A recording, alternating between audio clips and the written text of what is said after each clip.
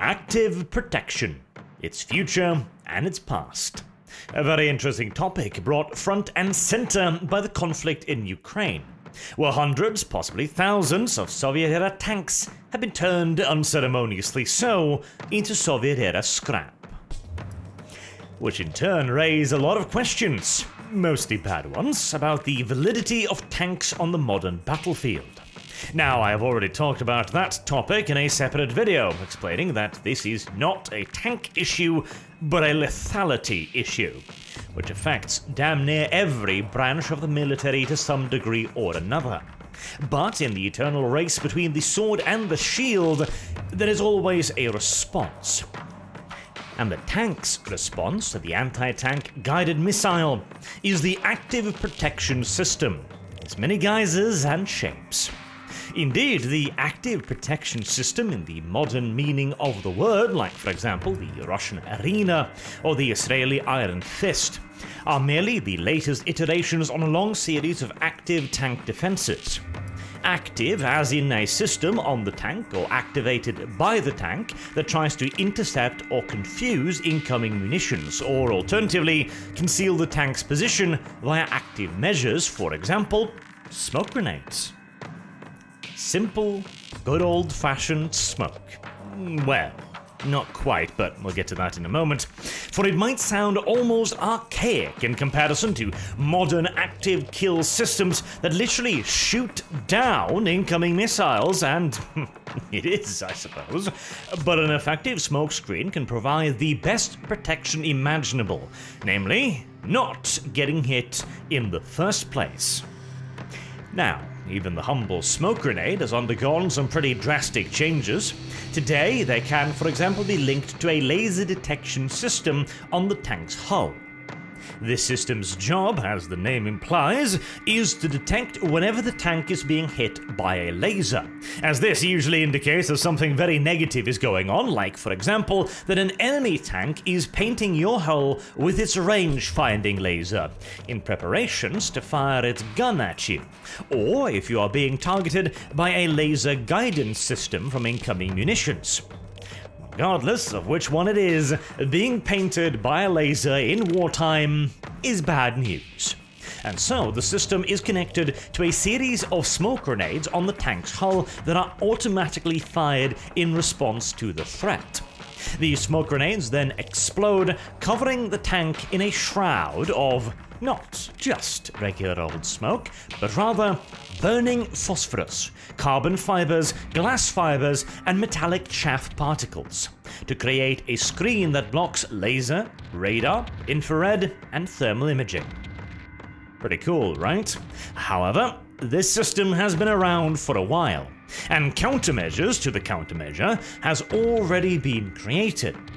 Let's take the British slash Swedish NLAW of recent fame, for example. It functions by essentially taking a picture of the target, estimating range, speed, atmospherics, etc., etc., and then fires the missile not towards the target, not guided by the operator or the launcher towards the tank, but rather the missile simply flies towards where it thinks the tank will be in however many seconds until impact. In other words, you can conceal yourself as much as you want, the missile's just going to keep going straight. And, man, the irony is not lost on me that after stacking sensors upon sensors, guidance system upon guidance system, we have finally returned back to, eh, just kind of guess where the thing's gonna be and shoot. Granted, it is a far more sophisticated computer generated guess, but a guess nevertheless. Still, the development of sensor blocking smoke and smoke in general is one early example of active protection that was developed for the exact same reasons why we are working on shooting down anti-tank guided missiles today. Because the tanks are vulnerable to anti tank weapons, as they have always been and always will be to greater or lesser degrees. The very first tanks deployed in World War I were countered in an improvised fashion by simply pointing artillery at them and firing massive ass HE shells over open sights. It did wonders against tanks like the Mark 1 and 2, since the riveted armor plating turned out to be a lethal design flaw, as when struck by a sufficiently tremendous outside force, the rivets would be de facto fired in reverse into the tank, much to the detriment of its poor occupants at the time. The solution then was simple better armor, thicker armor, less rivets. And if you wanted to be really fancy, you would even round the armor, as on the Soviet T 34. For a while, that was the way of things. AT was a bigger gun. The 37mm became the 50, the 50 became the 88, and the 88 became the 128, whilst the tank's response was equally simple. The Panzer II had 15mm of armour, the King Tiger had 185. The way things were going, we would eventually end up with enormous rumbling land fortresses like the Ratte. now that would have been cool, but the Germans, as always, had to ruin the fun with the introduction of widespread and effective shaped charge weaponry, a variant of which was first used in combat against the literal fortress of Eben Emael in Belgium, and later in the form of the Panzer Schreck and the Panzer Faust. Suddenly, AT munitions penetration was measured in the hundreds of millimeters and was fired not by an enormous anti tank gun weighing tons, but rather by a single dude in a bush with a tube. The reason for this was the aforementioned shaped charge, which is a very simple concept first discovered in the late 1700s and then refined and effectivized with the invention of better high explosives. Put simply, when something explodes, it produces an outwards force. This force will go in every direction possible up, down, left, right, etc., thereby dispersing the total force of the blast. If, however, you put the explosives inside of a container with only one opening, the majority of the force will naturally go out the opening, path of least resistance, thereby in turn increasing the blast force of the explosives. This was then further enhanced by the addition of a liner, which is usually a thin conical shaped layer of metal inside the weapon. When the explosives go boom, the shape of the container and the liner works together to exert the maximum force to compress and propel the liner out of the weapon. When done correctly, this creates a jet stream of hypersonic liquefied metal. with some modern variants capable of propelling the jet at 10 kilometers per second. Surprisingly, um, this makes a complete mockery of most regular armor. So, the true arms race began. One early countermeasure was spaced armor, in the form of the German tank skirts and side armor plating, which would detonate the projectile and disperse the jet before it actually got to the hull. However, the main limitations on shaped charge weaponry was range. The Panzer Schreck had a maximum effective range of 150 meters.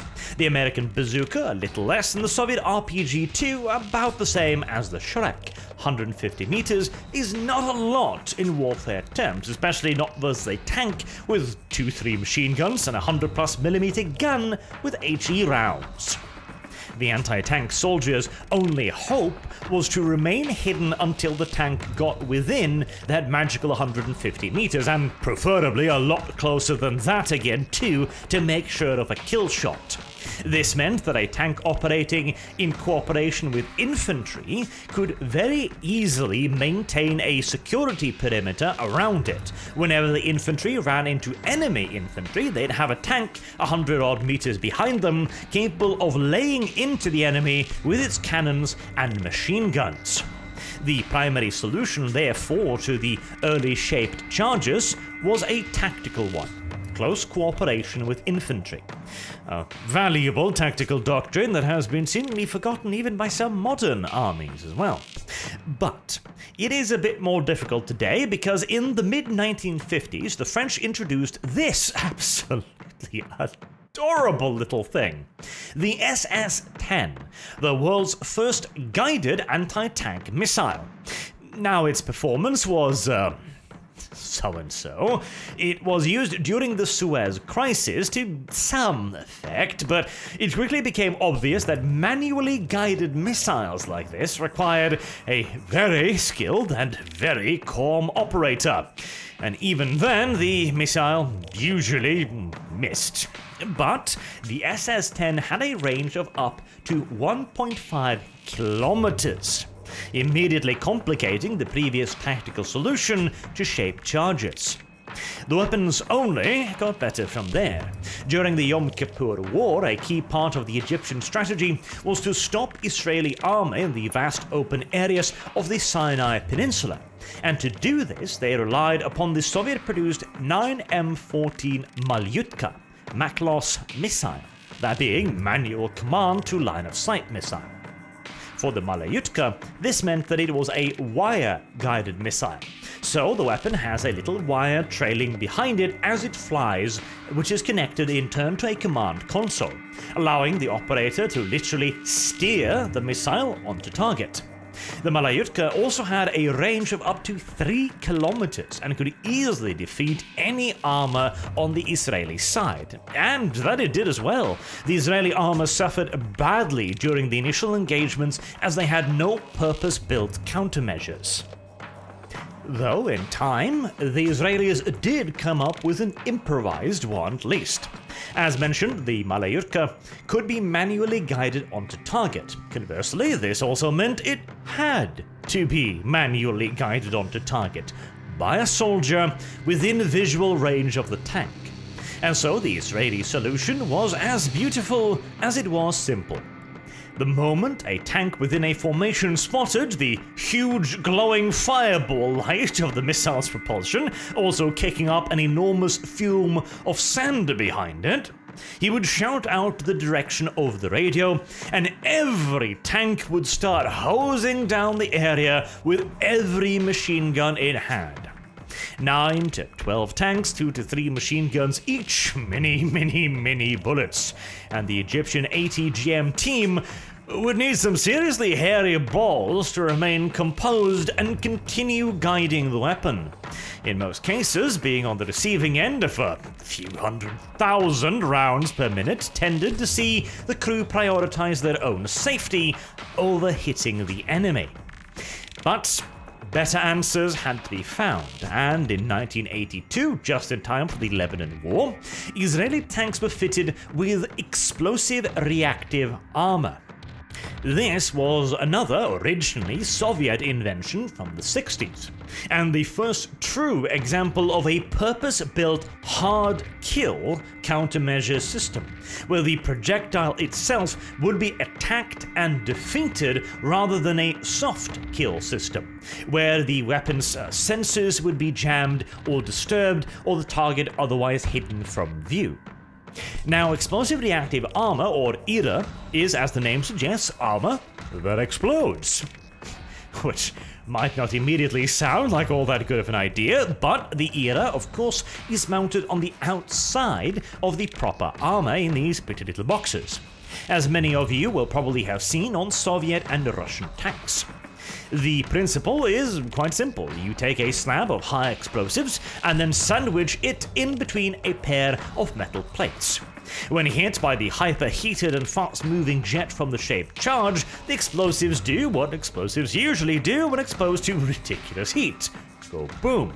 But this time, all of the energy is directed outwards, since the tank behind the ERA is, of course, not going to be moving. All of the force, the metal plate, and the explosive effect moves outwards and upwards, which in turn helps to disperse the liquid metal jet and deflect the missile. There are uh, more advanced versions of this too, of course, but the basic principle remains the same.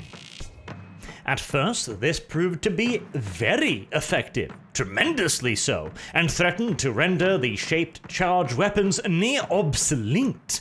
At least you would need multiple hits on a target to peel away all of the ERA first. And that was when a smart-ass American said, but wait, what if we make two explosive charges?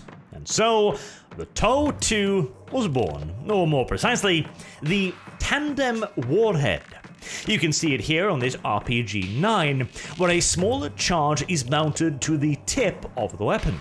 This would hit and detonate the era, and then break away, leaving the real charge coming on hot behind it, ready to break through the tank's now exposed main hull armor.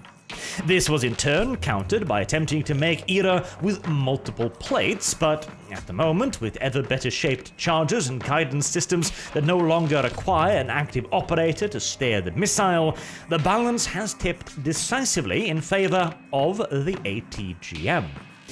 Which finally gets us to the juicy bits modern hard kill systems.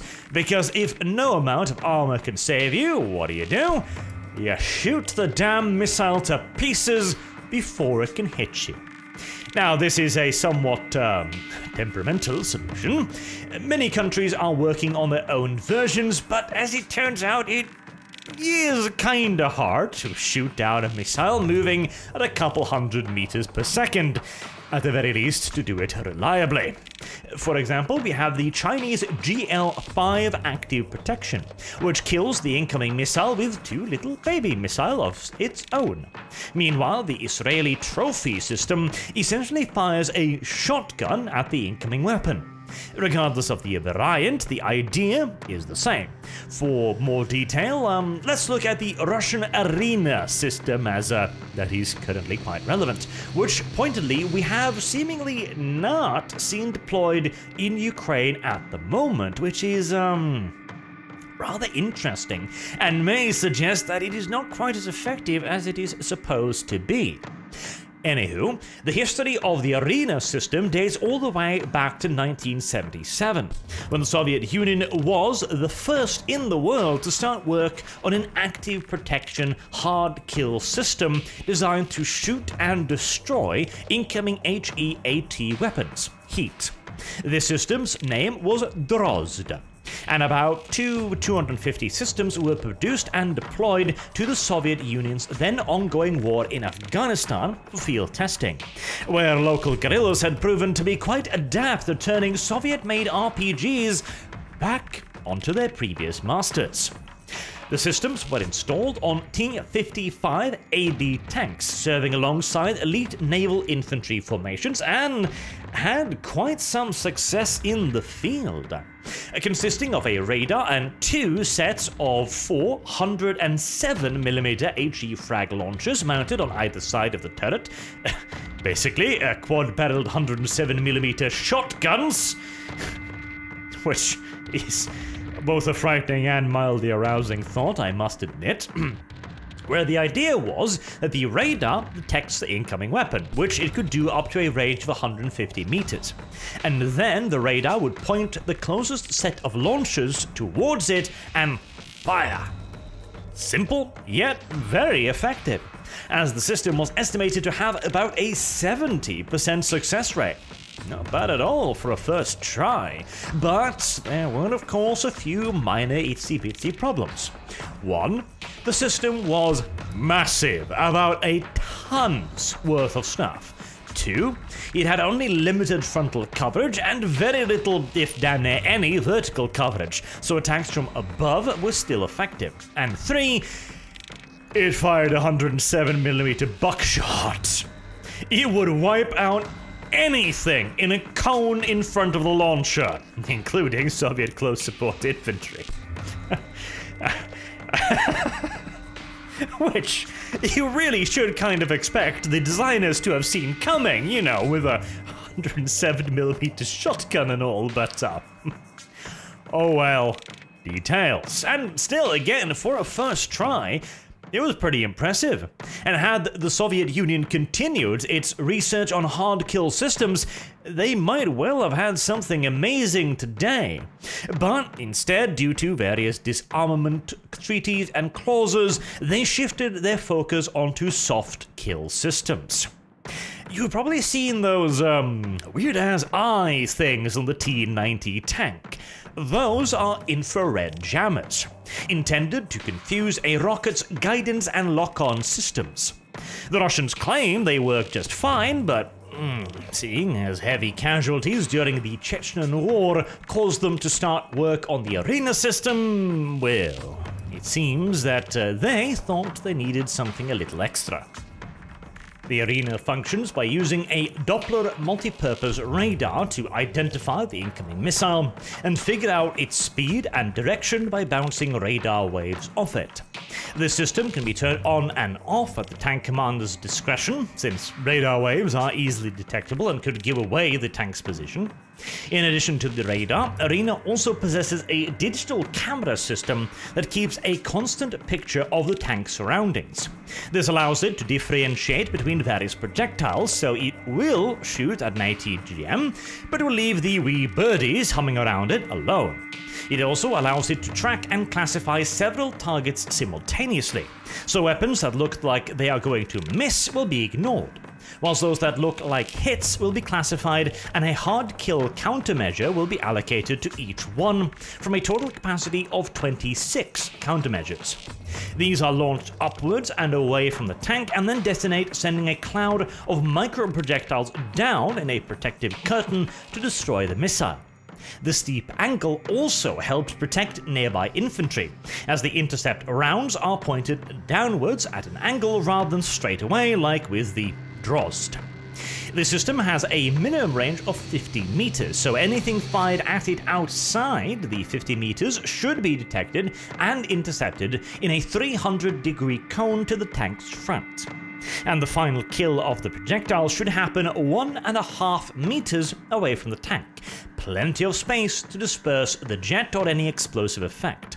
Finally, the arena is claimed to be able to handle projectiles moving at up to 700 meters per second, which is more than enough to deal with any ATGM currently in service, but like all current hard kill systems, cannot deal with solid ammunition, like, say, a uh, tank shell, for example, as those can travel well in excess of a thousand meters per second. On paper, therefore, the system looks pretty damn great, and potentially, in combination with other soft kill countermeasures and the hard kill countermeasure of the reactive armor, should increase a tank's chances of surviving an ATGM attack quite substantially. And at a relatively low price point of $300,000 as well. As far as high tech missile interception systems, that's quite cheap. Its effectiveness, however, remains unproven. Oh, there are videos of it, absolutely, as I have been showing you, but to date, I do not believe the arena has been in active combat, which is quite puzzling, really. If it is as good as it is claimed to be, then it would have been a tremendous help in Ukraine. The NLAW, for example, is well, well, well within the arena's parameters, and it claims to be able to intercept top attack weapons like the Javelin as well, though I have yet to find any test footage demonstrating this alleged capability. But there is a system that has been deployed in active combat and proven very successful the Israeli Trophy system. It was first installed on Merkava 4 tanks in 2010, and during Operation Protective Edge, or the 2014 Gaza War, depending on who you ask, the trophy successfully intercepted dozens of anti tank guided missile and RPG attacks. In fact, the IDF claim a 100% success rate for the trophy system during that conflict. Now, a uh, 100% success rate in anything makes me highly skeptical. And it should be said that the trophy was dealing with mostly old RPGs and ATGMs used by poorly trained militias, not cutting edge NLAWs and javelins used by hyper paranoid and highly trained regulars. So in a full-blown parity or near parity conflict, we can't say for sure the trophy would perform as well and effective though it appears to be. It does come at a hefty cost, uh, $900,000 per tank. So long as it works, of course, it is worth it to protect a $4 million tank, but the argument can absolutely be made, and I see it, oh, I see it, that making a $4 million tank into a $5 million tank and then see it explode nevertheless would suck quite a bit. And that is also one of the main arguments against the current validity of the tank. Slapping a million dollar upgrade on obsolete Hulk is merely reinforcing failure. However, bear in mind that most of these systems are, in military terms, babies, barely a decade old.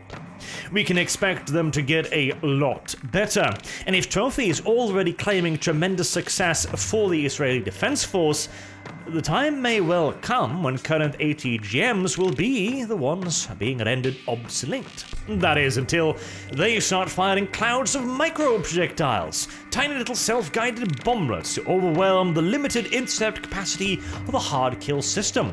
And then the defenses will evolve again, and so forth and so on, as the sword and the shield continue their eternal competition. And who knows, maybe I will get my enormous rolling death fortresses someday. With banks of laser projectors that zap each and every single little bomblet out of the sky in brilliant red flashes. But for now, we're gonna have to make do with radar guided shotguns. Which is a compromise I can live with. Until next time, I've been Arch. Thank you all very much for watching, and I hope to see you all again soon. Have a good day.